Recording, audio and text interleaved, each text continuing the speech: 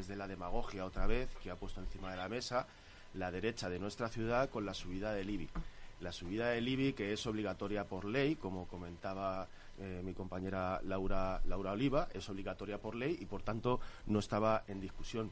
Pero es que la izquierda que se ha sumado a estas críticas me parece que está haciendo un grave favor al tipo de sociedad que nosotros planteamos. Eh, casi todos los partidos o varias formaciones de izquierda planteábamos que el IBI había que subirlo al 0,4 porque era el mínimo legal y porque somos el ayuntamiento de la Comunidad de Madrid que menos IBI pagamos.